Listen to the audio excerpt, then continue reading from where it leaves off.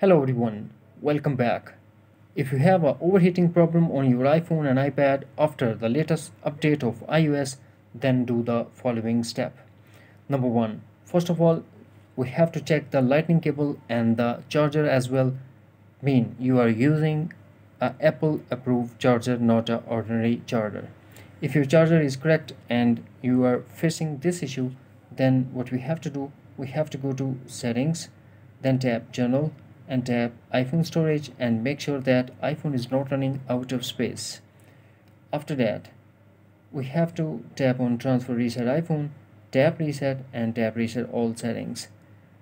Here we have to put iPhone passcode and tap again reset all settings to confirm. This process will delete all your customized setting to default setting but no data or media will be deleted.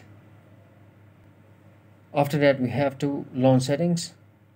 Here we have to tap on battery and battery health and disable optimize battery charging.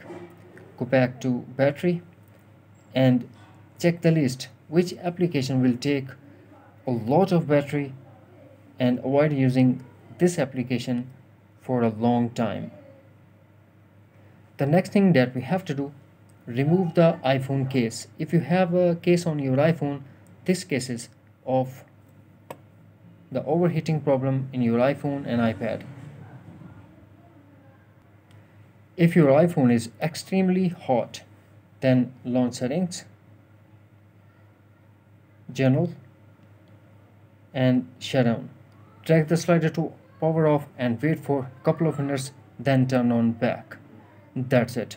Hopefully friends, you found this video helpful. So please do like, share and subscribe. Thanks for watching. Take care. Bye-bye.